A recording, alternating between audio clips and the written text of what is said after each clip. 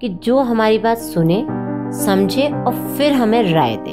Okay तब जा कर के एक एक्सपर्ट से हमें सलाह लेना चाहिए कि हम किस तरीके से इस मैटर को रिजॉल्व करें और वो सलाह उनको दें जो उनके इन्वायरमेंट में सेटअप होती है। तो उससे सबसे ज़्यादा एडवांटेज जो काउंसलिंग लेने आए हैं उनको ये क्योंकि उसी इन्वायरमेंट पे उनको जाना है वहीं पर उनको अपनी कोपिंग स्ट्रेटजी को अडॉप्ट करना है।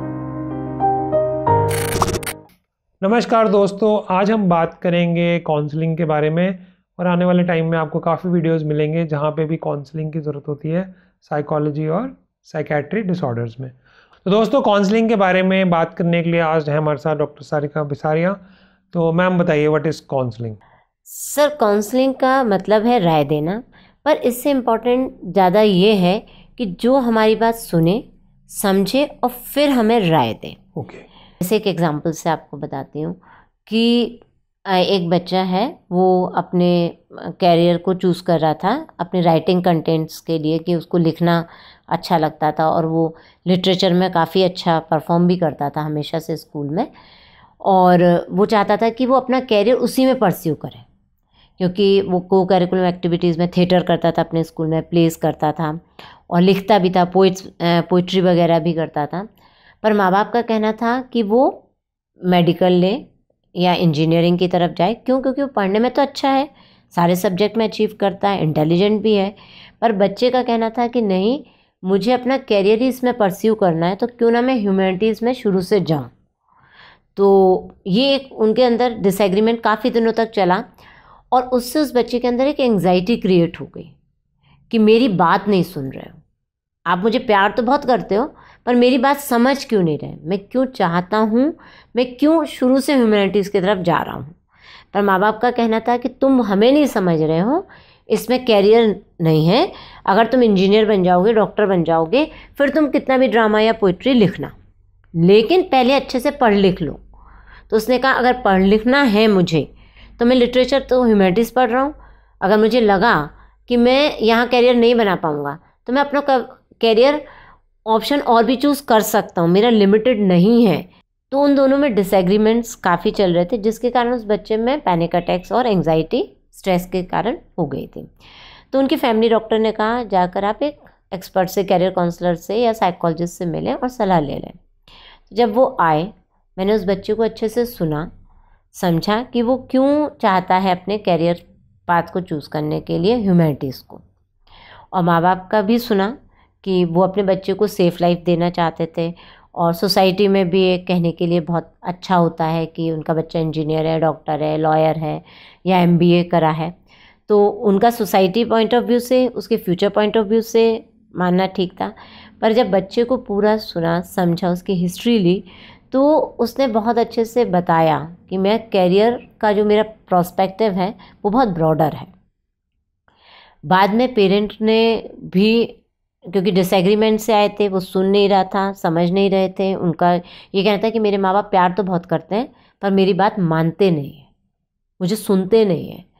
हमने बच्चे के साथ दो सेशन करे, उसको पूरा सुना, समझा और उसके ये देखे कि वो कहाँ पर स्ट्रॉन्ग है और क्या, किस लिए वो ये डिसीज़न को लेना चाहता है। तो फिर पेरेंट का सेशन हमने लिया और उनको बताया कि आपके बच्चे में एंग्जाइटी या स्ट्रेस क्यों है? क्योंकि आप उसकी बात नहीं सुन रहे और वो ये समझाना चाहता है कि क्यों वो इस करियर को ऑप्शन को चूज़ कर रहा है? पर डिसएग्रीमेंट है आप लोगों के तो यहाँ पर उसमें एंग्जाइटी क्रिएट हो गई स्ट्रेस क्रिएट हो गया।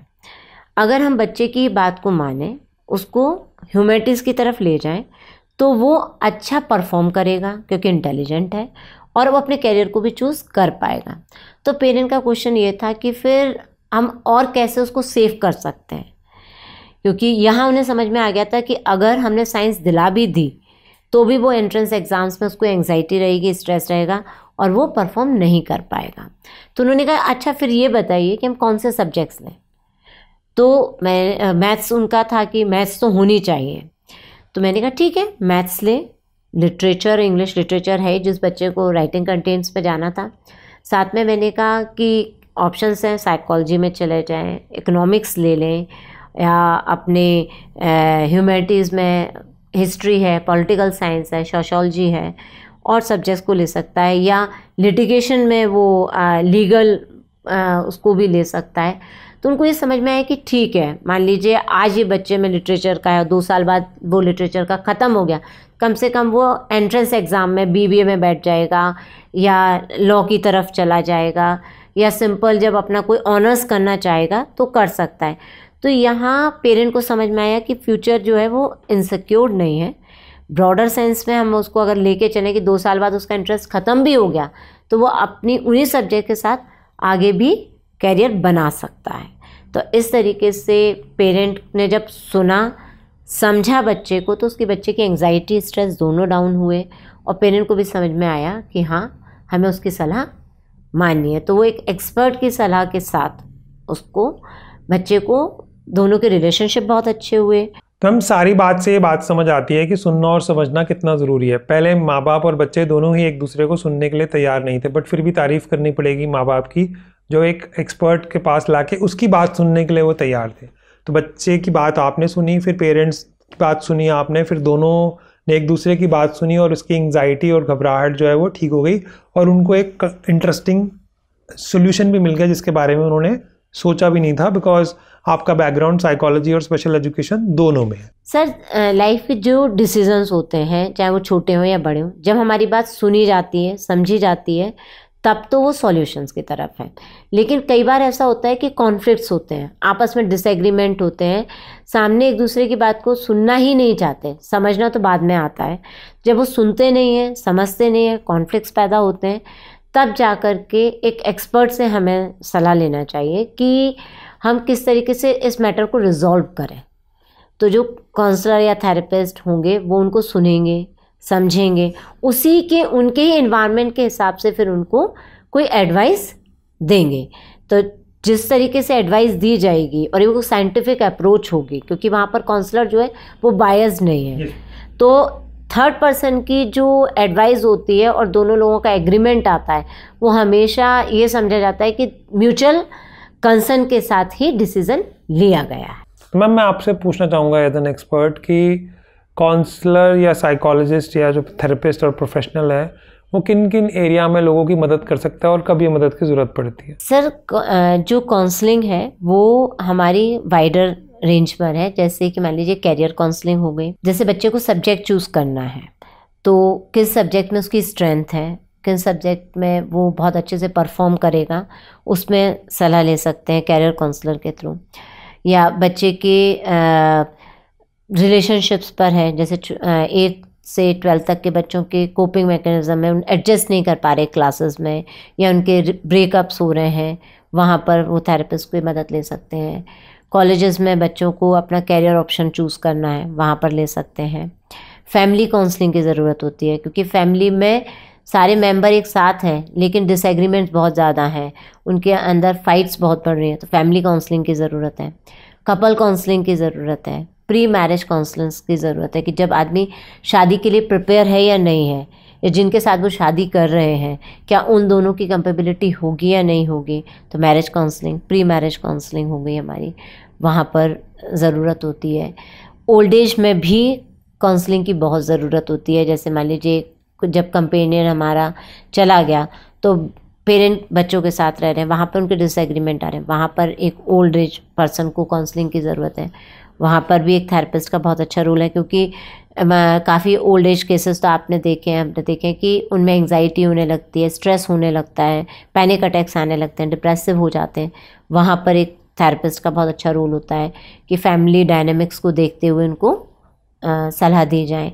या कभी देखा जाता है कि इंडिविजुअल काउंसलिंग की ज़रूरत है, किसी को स्ट्रेस है एंजाइटी है, या कोई साइकेट्रिक इलनेस है तो वहाँ पर भी थेरेपिस्ट की ज़रूरत होती है। तो काउंसलिंग के बारे में मैम हमने समझा कि सुनना है समझना है एज एन एक्सपर्ट राय देनी है और डिफरेंट टाइप की काउंसलिंग्स हैं। तो मैम जैसे अल्कोहलिक एनोनिमस होता है नारकोटिक एनोनिमस होता है या कई बार ऐसा होता है कि अर्थ क्विक आ जाता है तो उन सब लोगों को मिल मदद की जाती है उस पार्ट को क्या कहते हैं मैम? सर इसको हम ग्रुप काउंसलिंग बोलते हैं।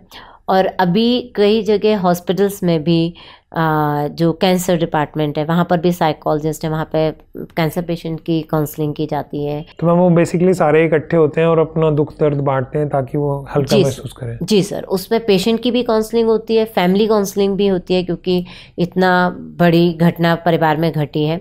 तो उनके लिए थेरेपी ग्रुप सेशंस होते हैं और आजकल तो गायनोकोलॉजिस्ट के यहाँ भी काउंसलर्स होती हैं जो कैसे पेरेंटिंग करना है कैसे पूरी प्रेगनेंसी की स्टेजेस को संभालना है तो वहाँ पर भी ग्रुप काउंसलिंग होती तो इसका है। मतलब बेसिकली ये हुआ मैम कि सुनना समझना और एज एन एक्सपर्ट जो साइंस कहती है उसका बेस्ट ओपिनियन आपको मिले। बिल्कुल। तो काउंसलिंग का मतलब हुआ गिविंग एडवाइस लेकिन सही एडवाइस yes. और अक्सर ये देखा गया कि हम सुनते हैं उन्हीं के जिसको हम ट्रस्ट और रिस्पेक्ट करते हैं। बिल्कुल सर। सो काउंसलर का जो रोल है सर सबसे पहले कि पूरी बात सुने समझे फैमिली को सुने या जो लोग कपल के रूप में आ रहे हैं, उनको सुने, समझे। इंडिविजुअल आ रहे हैं तो उनकी बात को पूरा सुने, समझे। और वो सलाह उनको दें जो उनके इन्वायरमेंट में सेटअप होती हो। तो उससे सबसे ज़्यादा एडवांटेज जो काउंसलिंग लेने आए हैं, उनको ये क्योंकि उसी इन्वायरमेंट पे उनको जाना है, वहीं पर उनको अपनी कोपिंग स्ट्रेटजी को अडॉप्ट करना है। दोस्तों, इस वीडियो में आपने सुना और समझा कि सुनना और समझना कितना इंपॉर्टेंट होता है और ये फैमिली मेंबर्स और फ्रेंड्स बहुत अच्छे से करते हैं और अक्सर फ्रेंड्स ज़्यादा अच्छे से करते हैं क्योंकि वो हमारी बात को ज़्यादा दिल से सुनते हैं और समझते हैं। बट अगर ऐसा फैमिली मेंबर और फ्रेंड्स नहीं कर पाते तो आपको एक्सपर्ट की ज़रूरत पड़ती है। और आने वाले समय में हम सभी साइकेट्रिक और साइकोलॉजिकल प्रॉब्लम्स के साथ, जो भी चाहे वो चाइल्ड साइकेट्री के हों, चाहे वो मैरिटल या मैरिज के लोग लेके प्रॉब्लम्स हों, चाहे वो स्कूल के बच्चों की प्रॉब्लम्स हों या ऑफ़िस की प्रॉब्लम्स हों, उसमें जब बात नहीं बन पाती है, उसके बारे में हम काउंसलिंग के रोल के बारे में डिटेल में बात करेंगे डिफरेंट वीडियोज़ में। उसके अलावा ऑनलाइन कोर्स भी आपको मिलेगा, जिसका लिंक आपको डिस्क्रिप्शन में मिल जाएगा ऑलरेडी या आने वाले टाइम में मिल जाएगा, जिससे आप इसको गहराई से समझ सकते हैं। आज के लिए बस इतना ही, मेरी तरफ़ से और सारे मैम की तरफ़ से धन्यवाद।